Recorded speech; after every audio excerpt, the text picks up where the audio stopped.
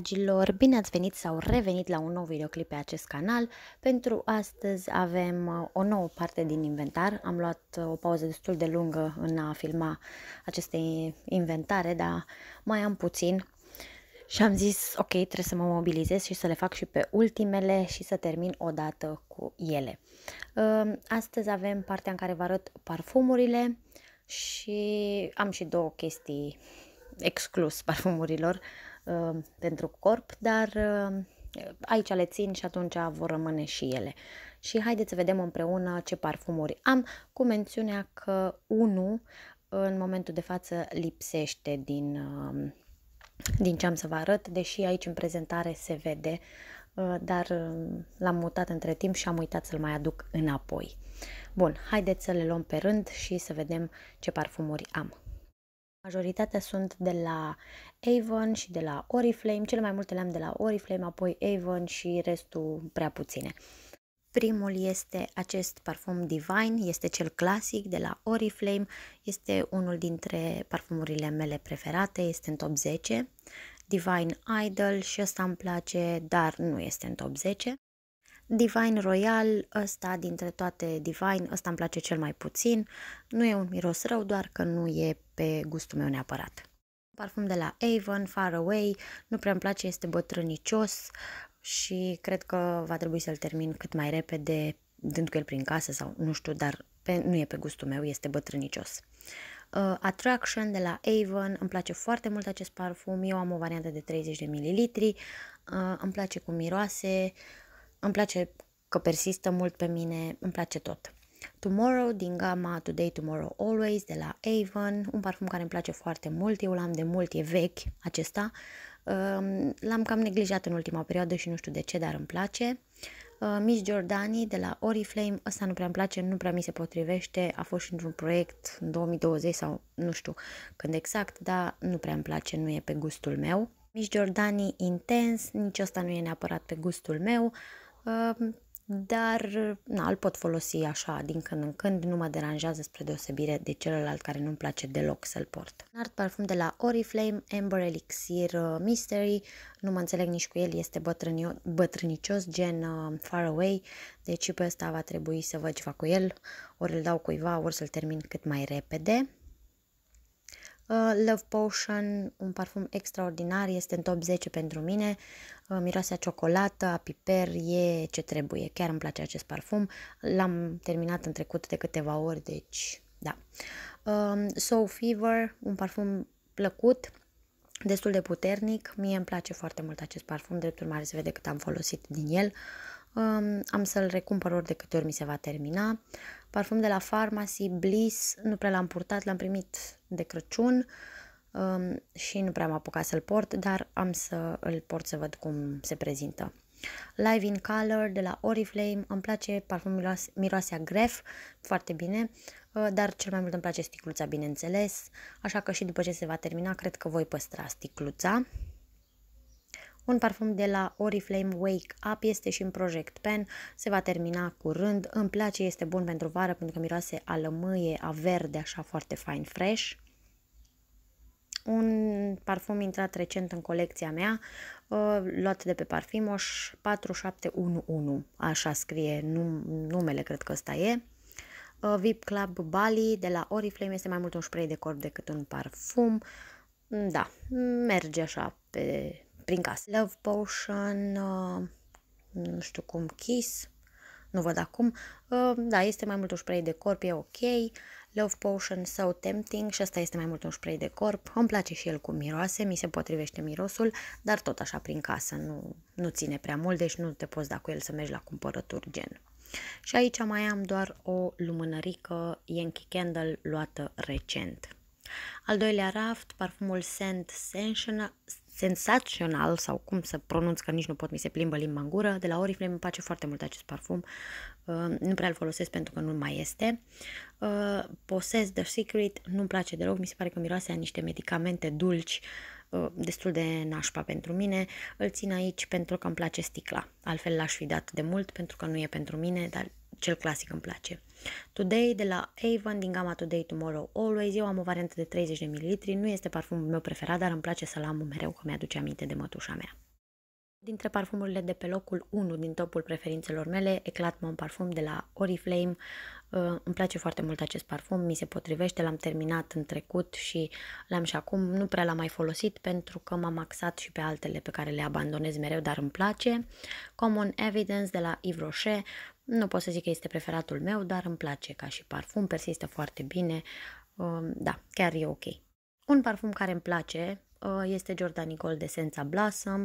E un parfum uh, elegant, purtabil, mă înțeleg bine cu el, persistă mult pe mine.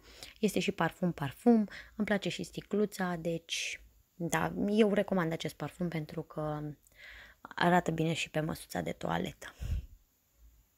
Magnetista, un parfum care nu prea îmi place, nu mi se potrivește, dar uh, îl mai folosesc din când în când când fac drumuri scurte, pentru că nici nu persistă prea mult pe mine.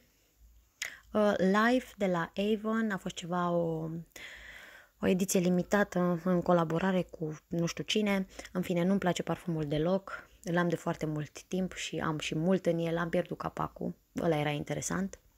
Eclat Amur de la Oriflame e ok, dar nu preferatul meu. Uh, dar na, e ok, persistă 5-6 ore, ceea ce mai mult decât ok. Un parfum pe care eu îl ador, dar achiziționat recent, Gabriela Sabatini. Uh, îmi place foarte mult acest parfum, persistă foarte bine, siajul este foarte bun, mirosul este puternic, adică nu îl simți la oricine, chiar e ok. Un parfum nesemnificativ, pentru că nici nu, și ăsta a intrat recent în colecția mea, nu persistă, nu miroase wow, dar costa până în 10 lei, așa că da, am zis ok, prin casă merge. Un parfum care iară nu prea îmi place, Hair Story Love Inspired de la Avon. L-am primit, nu l-am cumpărat eu, l-am primit în cadrul unei campanii Bastor. Nu prea mi se potrivește, de aia nu prea îl folosesc. Infinita, un parfum care îmi place, dar l-am abandonat nu știu de ce în ultima perioadă, pentru că atunci când l-am cumpărat chiar l-am folosit destul de des. Acum nu știu ce s-a întâmplat cu mine, nu prea l-am mai folosit. Tenderly Promise de la Oriflame, nu se mai găsește acest parfum, de aia nu prea îl folosesc, dar e un miros care îmi place. Am să-l folosesc vara aceasta mai mult, dar nu vreau să-l termin prea repede. Uh, Joyce uh, Jad este acesta, uh, varianta cu pară. Ăsta dintre toate variantele Joyce, ăsta este preferatul meu um, memories, flirting, nu știu ce, ăsta e bun de dat prin casă, după baie, nu, nu persistă foarte mult, dar e și un, un parfum foarte ieftin.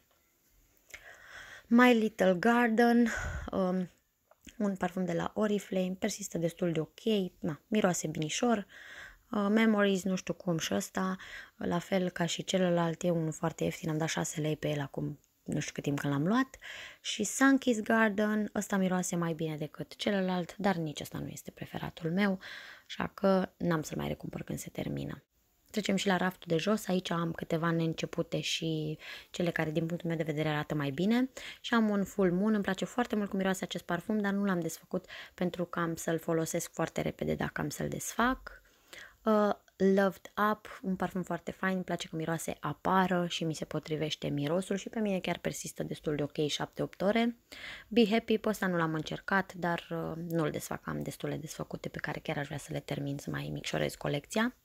Little Black Dress Gold Edition, nici asta nu știu cum miroase, dar și pe el îl mai las un pic pe tușă. Miss Happy, asta este mai mult un spray de corp, a fost și foarte ieftin, nu l-am desfăcut, nu știu de ce, chiar nu știu, nici nu știu cum e. Uh, volare, nu-mi place volare, dar l-am aici în cazul în care îl dorește cineva să îl am. Uh, More by Demi, parfumul meu preferat, l-am de vreo 10-15 ani, nici nu mai știu. Uh, un parfum de la Oriflame care nu se mai găsește și pe care eu îl ador. Nu prea îl mai folosesc decât o dată de două ori pe an maxim, pentru că nu mai am de unde să-l iau și mai am mai puțin de jumătate în el. Mm, îmi pare foarte rău că l-au scos. Atât pot să zic.